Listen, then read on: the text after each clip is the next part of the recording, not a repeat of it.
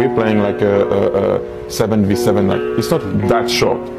Like kind of a halfway line to the goal line. Yeah. He will run.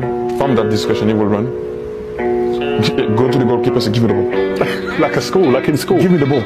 Meanwhile, and this is Barcelona's strength. So if he has to go all the way, he has to pass Yaya Touré, eventually, or Busquets, or eventually, or Puyol, or Rafa Marquez, whoever is playing. Mm.